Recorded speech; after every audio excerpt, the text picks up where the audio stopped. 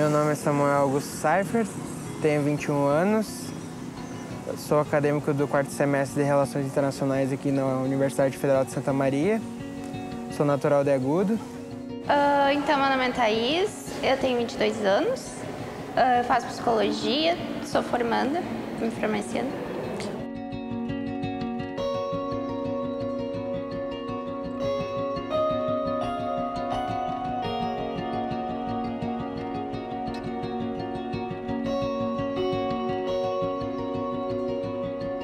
esse ano. O FSM era a minha primeira opção por eu ser agudo, ser mais próximo, né? E minhas irmãs todas formadas né? já no FSM, né?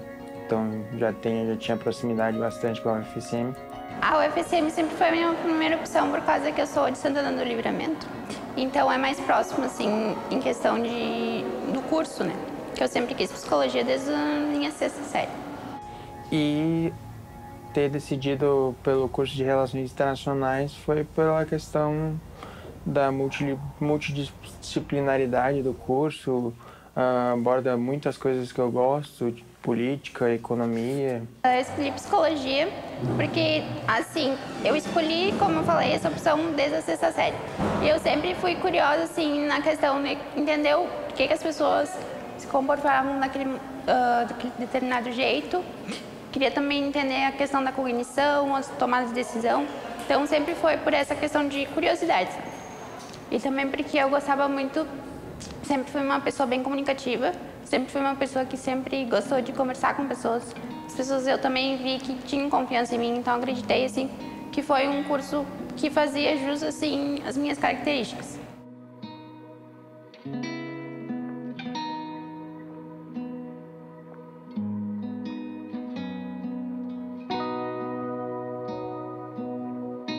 Nós temos dentro da CAED projetos, né, ações que são voltados tanto para pessoas com deficiência, né, autismo, altas habilidades, superdotação, dentro do público, né, mais direcionado ao núcleo de acessibilidade e também, né, de modo mais geral, aos demais sujeitos que necessitam de alguma ação de acessibilidade também dentro da instituição. E os demais núcleos também, né, dentro da CAED, dão conta de pensar essas outras ações, né, de modo mais amplo. Eu sou Christian Evandro Senem, eu sou servidor da universidade faz cinco anos, desde 2014. Eu tenho deficiência visual adquirida desde os meus, meus 19 anos de idade. E desde que perdi a visão, eu me identifiquei com a causa da, da inclusão das pessoas com deficiência, da acessibilidade né, e do, das tecnologias assistivas. E, inicialmente, havia um entendimento ou um, uma, uma direção maior para a acessibilidade arquitetônica, que é, de fato, uma das acessibilidades mais importantes para que nós consigamos ir e vir com autonomia e independência. Mas a acessibilidade ela também abrange outras áreas, Segundo Sasaki, que é um dos mais conhecidos nessa área, uh, há também a acessibilidade comunicacional, a acessibilidade instrumental, a acessibilidade metodológica, a acessibilidade programática e uma das mais importantes, que eu considero a mais importante, que é a acessibilidade atitudinal, né? que é o comportamento da sociedade, das pessoas como indivíduo em relação a quem possui deficiência. Então, essas seis esferas que buscam permitir ou que entendem que os maiores obstáculos, as maiores impossibilidades uh, direcionadas às pessoas com deficiência não são uh, resultantes das deficiências que elas possuem, mas sim dessas áreas ou dessas questões ambientais que as cercam e que as impedem e que não foram pensadas no sentido de, das diferenças, né? Então a CAED ela vem pensando desde o acompanhamento do estudante ah, no início, né, desde o ingresso dele dentro da universidade, mas voltando também sua atenção à questão da permanência dele dentro da instituição e também visando a saída, né? Então as ações da CAED são voltadas quanto ao acompanhamento desses estudantes em diferentes momentos da sua trajetória dentro da nossa universidade, voltando suas ações para a permanência e incentivando ele de alguma maneira a concluir os seus cursos na nossa instituição. Assim, a universidade vem se adequando obrigatoriamente até por exigências do Ministério Público, tá? Uh, já, já a gente começou, a, digamos, a ter uma efetividade maior de adaptações em 2010, mais ou menos e foram evoluindo e estão sendo ainda aos poucos implantadas no campus gradativamente na medida que os recursos são liberados para tal fim. Eu me considero independente. Eu, eu decidi morar sozinho, com conversas com, com a minha família, até de certa forma teve um pouco de resistência na família também, mas uh, isso foi isso como crescimento, teve um grande crescimento como como pessoa da questão de, de, conquista da independência aqui, numa cidade diferente como Santa Maria, um, morar no campus também, trocar de cidade, é, foi dar aquele, sempre aquele impacto, né? E também pela questão de primeira vez morar sozinho, né? Então deu impacto, mas agora com um ano e pouco, um ano e meio já aqui em Santa Maria já estou bem, bem adaptado e bem, bem tranquilo.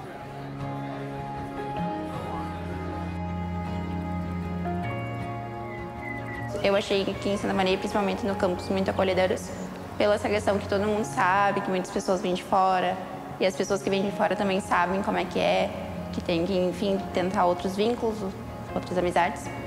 Então, acho que mais ou menos todo mundo está no mesmo barco, então todo mundo entendeu. Sim, a gente tem que ser acolhedor uns com os outros.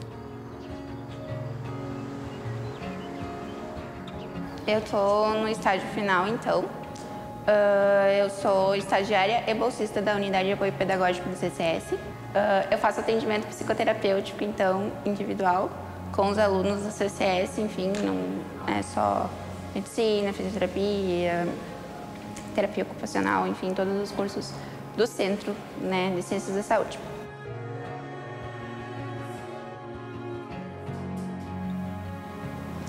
Desde os primeiros dias, assim, o diretor do centro me chamou, o professor Mauri, e ele sempre, tipo, se foi bem, assim, solícito quanto à questão, tanto aqui do CCSH, que eu precisasse, enfim.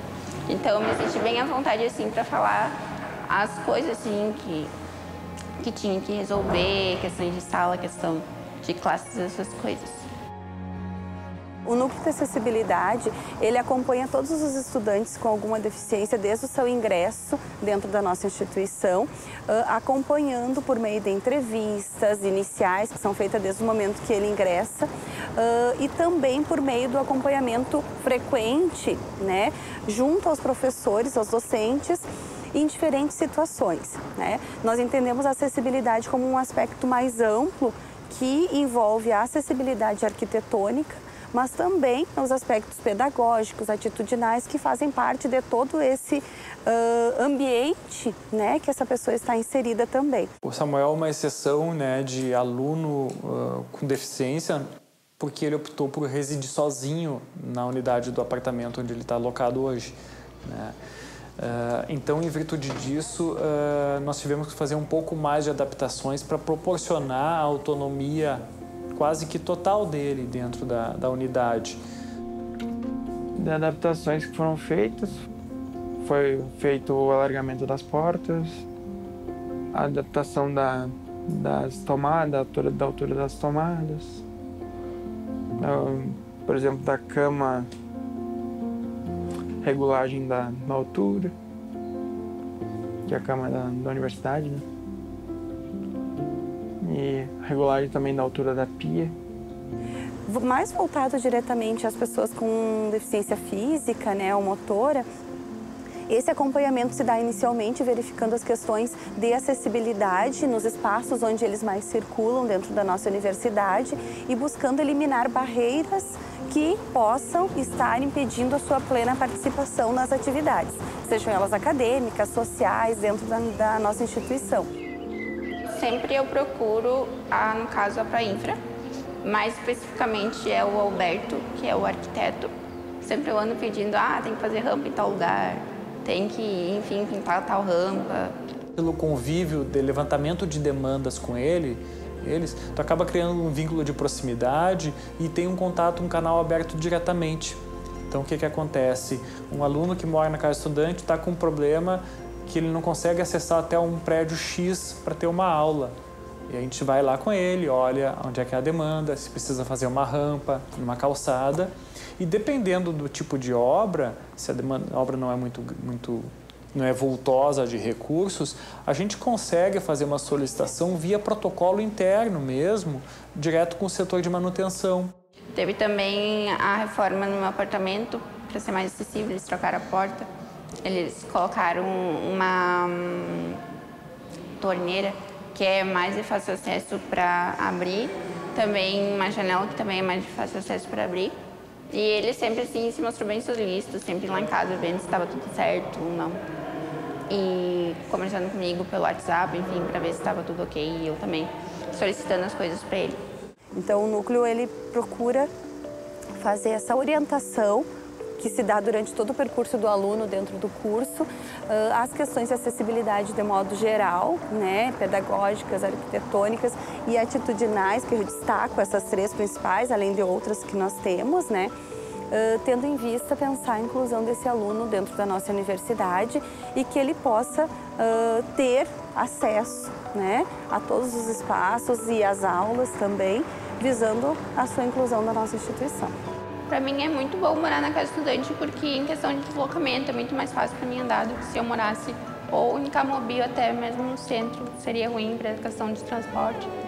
E essas coisas assim, a, a UFSM ela me disponibiliza uh, transporte para casos de dias de chuva, quando eu solicito essas coisas assim. Eu uso bastante transportes públicos, principalmente nos finais de semana, assim. No início foi bem difícil, por causa que não tinha muitos ônibus adaptados, enfim, nas linhas que eu pegava. Ou às vezes os ônibus não estavam bem, estavam estragados. Mas daí eu entrei em contato com o SIM, no caso. E daí veio um fiscal, que ele conversa comigo, enfim, pela rede social. Uh, e daí eu sempre digo para ele, olha, eu preciso pegar tal linha, e daí, enfim, ele vê tudo, coloca o ônibus que tem acessibilidade, e daí deu tudo certo. Os primeiros anos, assim, foi bem ruim para mim, sabe? Porque até eu me adaptar, até eu entender, assim, que eu tinha que criar outra vida aqui, outros vínculos aqui.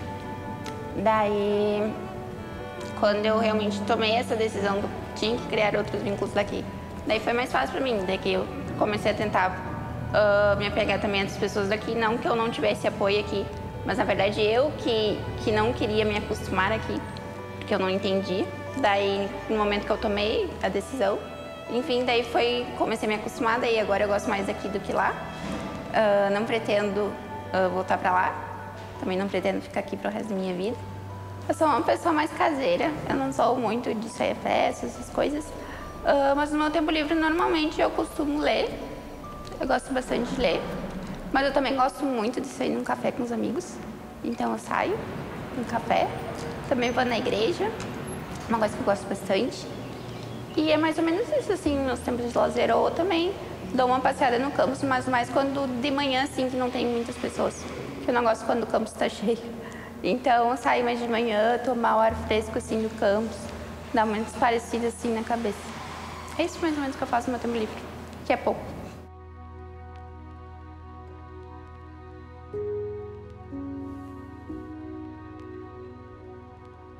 Eu, minha rotina assim diária é acordar, tomar café, assistir um pouco da televisão, estudar, almoçar, depois ir para aula E nas, na, nas quintas pela, na quinta pela manhã, natação e na sexta, a basquete adaptado. O primeiro esporte adaptado que surgiu né, para pessoas com deficiência dentro do, da universidade e do Centro de Educação Física foi com o professor Ciro Knackfuss, em 1989, que teve o primeiro, que criou o primeiro é, projeto de extensão. Após isso, foi criado, há 25 anos atrás, o NAEFA, o Núcleo de Apoio e Estudos da Educação Física Adaptada, que hoje eu sou coordenadora e nós temos várias atividades, inclusive os esportes adaptados então. Hoje nós temos oferecidos tanto para acadêmicos da universidade, acadêmicos com deficiência da universidade, quanto para a comunidade externa. Nós temos a natação, uh, o futebol de cinco, que é para pessoas uh, com deficiência visual, o goalball, que também é para deficiência visual, o basquete em cadeira de rodas e o handball, que é o mesmo grupo, né? Nós temos o programa Esporte Universitário, né? E nesse ano, em 2019, teve a inserção do esporte adaptado é, dentro do, do grande programa esporte universitário. Então, hoje, neste semestre 2019, segundo de 2019, nós temos o basquete em cadeira de rodas, o goalball e a natação. Eu comecei uh, natação uh, no, no início do ano. Uh, consegui uma vaga e para mim assim foi uma, uma grande realização, porque poder uh, praticar um esporte que traz tanto benefício como, como é a natação é uma coisa muito, muito gratificante para mim, um sonho realizado. Uh, é, de benefícios uh, que eu posso citar, por exemplo, a questão do, do desenvolvimento do, do corpo, do tronco, uh, a questão do desenvolvimento da respiração, a melhora.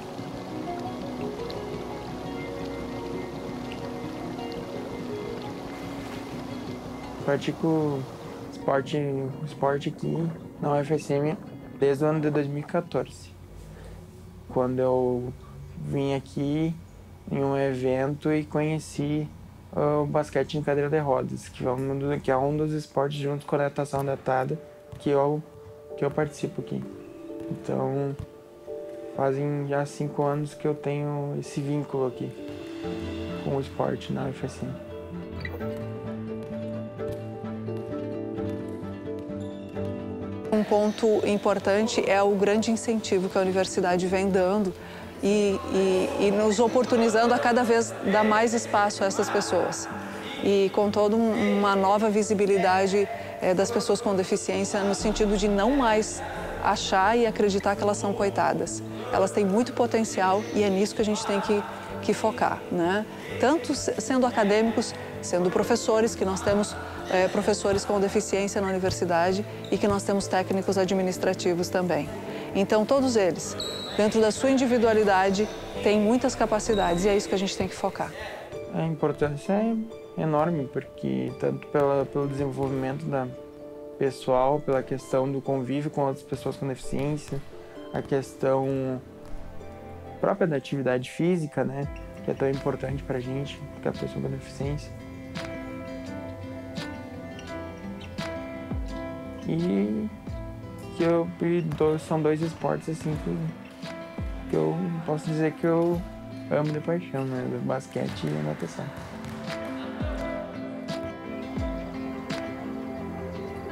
Teve várias mudanças. Quando eu cheguei não tinha ainda ciclovia.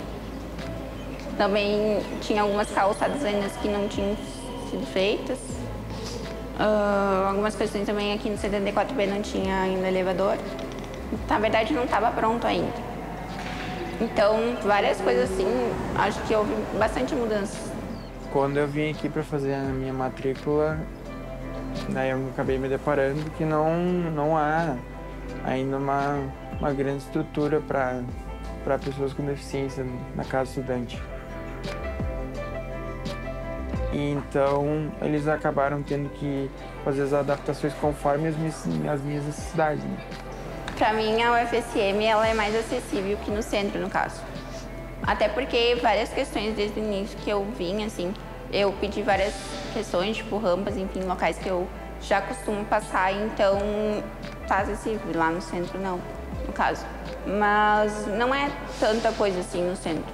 Hum, não tenho muito a reclamar, porque da cidade onde eu vim, é uma cidade que não tem muita acessibilidade, então para mim é super mais tranquilo andar aqui em Santa Maria do que lá no caso. A UFSM tem uma estrutura acessível, sim. Tem coisas a melhorar, como sempre. Tanto os prédios onde é que eu tenho aula, quanto, quanto a biblioteca, o RU também. Todo, todos, os, todos os locais que eu frequento, pelo menos até hoje, não, não tive nenhuma dificuldade de acessibilidade podia ter melhorias na, na, na, questão das calçadas, na própria questão da, da, das casas do estudante, uh, alguns prédios que eu tenho conhecimento ainda que não, não tem muita acessibilidade. Eu acredito que nós precisamos de materiais, é, especialmente aqui no basquete, por exemplo, basquete de cadeiras de rodas, nós precisamos das cadeiras adaptadas, as cadeiras esportivas, né? No mais, é a mesma, a mesma, o mesmo material, adaptações não são necessárias, né? É, já no goalball, nós temos que montar a quadra, tem toda uma, uma outra forma de, de trabalhar, né? E aí nós precisamos de adaptar a quadra, fazer todo um, um, uh, um desenvolvimento de mapa mental dos, dos que têm cegueira, baixa visão, para desenvolver o esporte, né? E, e, profissionais, nós temos aqui eh, professores em nível de mestrado, doutorado, que fazem os cursos aqui na universidade, da educação física, do curso de gerontologia em mestrado também, eh, curso de especialização. Então, são todos professores formados e estão nesses níveis de, de aperfeiçoamento. E que atuam no esporte, no programa esporte universitário. E além dos acadêmicos que atuam como monitores das atividades.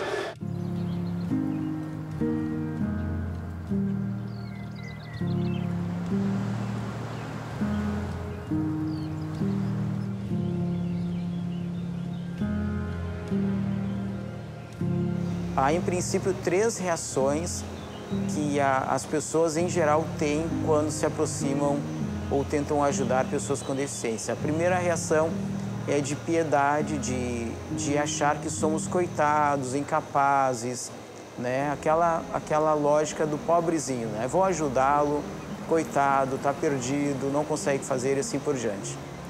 Depois de algum tempo de convivência, essa, essa reação vai para um oposto bem uh, significativo, bem né, uh, uh, contrário, né, que seria o da supervalorização do heroísmo, né, no sentido assim, por exemplo, olha lá o Christian, ele não enxerga, né, não enxerga nada e mesmo assim consegue caminhar sozinho só usando aquela bengala, né, que é a lógica do super-herói, né?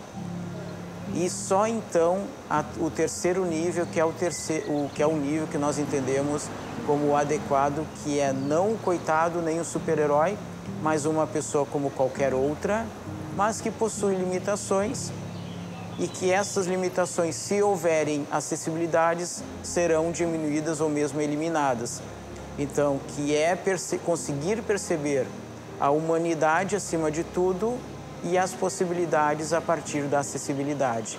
A, o, a lógica, o princípio que se busca nesse aspecto é de que quanto maior a convivência de pessoas sem deficiência com pessoas com deficiência e vice-versa, mais próximo nós chega, chegaremos dessa naturalidade, dessa compreensão uh, correta de quem somos, né, de quem são as pessoas com deficiência e do que é que é possível fazer para que as limitações uh, sejam diminuídas e as, acessibilidades, as liberdades sejam ampliadas, né?